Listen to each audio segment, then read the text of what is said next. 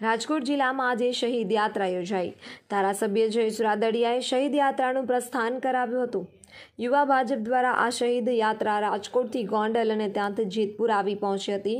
ત્યારે જેતપુર ભાજપ દ્વારા શહીદ યાત્રાનું સ્વાગત કરવામાં આવ્યું હતું.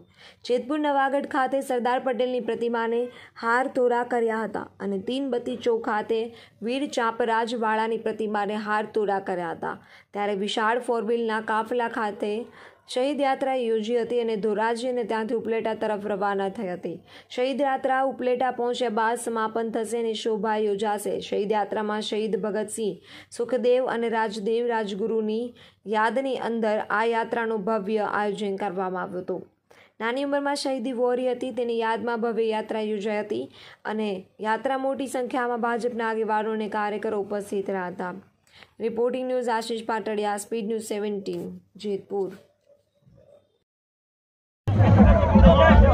Rajkot જિલ્લા ભારતીય જનતા પાર્ટી યુવા મોરચા દ્વારા આજે રાજકોટથી ઉપલેટા સુધીની શહીદ યાત્રાનું ભવ્ય આયોજન કરવામાં આવ્યું છે.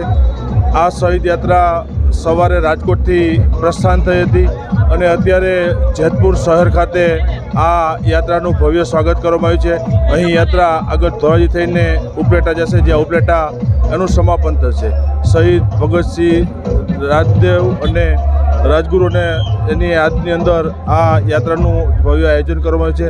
યુવા ભારતીય જનતા પાર્ટીના તમામ કાર્યકર્તાઓનો હૃદયપૂર્વક આભાર વ્યક્ત કરું છું, કારણ કે નાની ઉંમરે દેશ માટે શહીદ ભગતસિંહજીએ સુખદેવજી અને રાજગુરુએ જ્યારે સહોદી વરી હતી, એની યાદમાં આજે આ શહીદ યાત્રાનું આયોજન કર્યું છે. ભારતીય જનતા પાર્ટીના યુવા મોરચાના તમામ કાર્યકર્તાઓનું આભાર વ્યક્ત કરું છું અને આજે આ યાત્રાનું જેતપુર શહેર ખાતે ભવ્યથી ભવ્ય સ્વાગત કરવામાં આવ્યું.